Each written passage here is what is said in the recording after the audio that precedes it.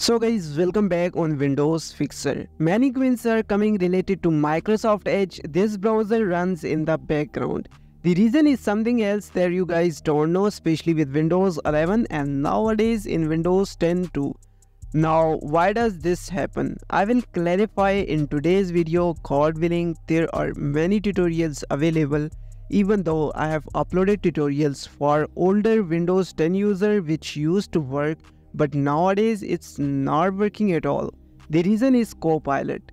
The method is still the same when you close your Edge from running in the background. This method works but whenever you launch Copilot your browser opens again and keeps running in the background until you close it. Let me show you a detailed demo over here. First of all, let me reset my uh, Microsoft Edge setting and then I will show you further things about this.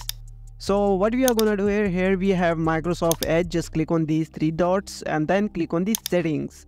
Once you browse the settings simply you need to click on the system and performance. Now here you can see continue running background extensions and app when microsoft edge is closed. When you check this option after um, check this op this box now whenever i just close my microsoft edge it will still run in the background. Let me show you. Just open the task manager. And here as you can see it's running right? Now the same thing let me show you. This will make you uh, like surprise. Just click again on the three dot settings and then settings and then you can go here system performance and just uncheck this option now when you now when you find the Microsoft Edge in task manager again it will not pop up over here. Even though let me launch it again right? And then I'm closing it again. Now it's closed see there's no background app related to the Microsoft Store. Again, I'm just uh, opening here Microsoft Edge. It will pop up in the Microsoft. Sorry, in the task manager. But when I close it, it will close from here automatically. And it's not running on background anymore. But the reason is whenever you launch the Copilot, your Microsoft Edge will be back again as you can see. Now when I close this uh, Copilot, the Microsoft Edge will still running in the background somehow, I don't know. See over here, Microsoft Edge is still running. So what you can do here guys, just don't use uh, copilot uh, there are a lot of applications are available.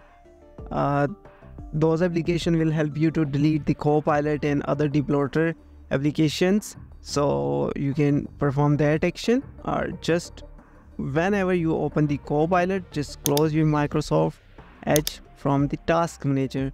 And whenever you close this it will not pop up again.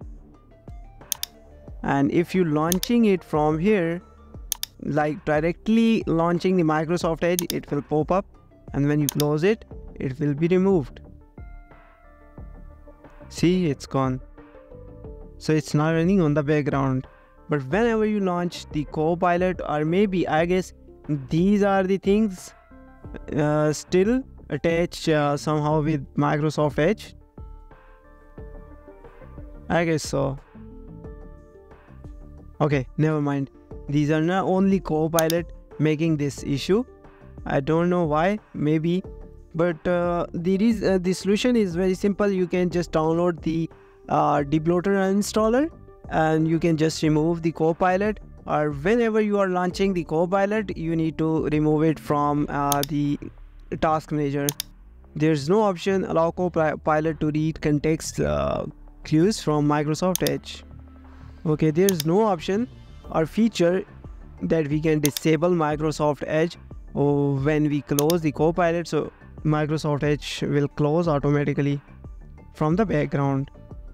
see is still running so just open the task manager and, and task this so whenever you are launching copilot you need to um, close it from task manager if you like this video please thumbs up and subscribe to our youtube channel windows fixer so you never miss any upcoming videos. As you guys know we are working on suggested topics. Thanks for watching and i will see you in the next video. Goodbye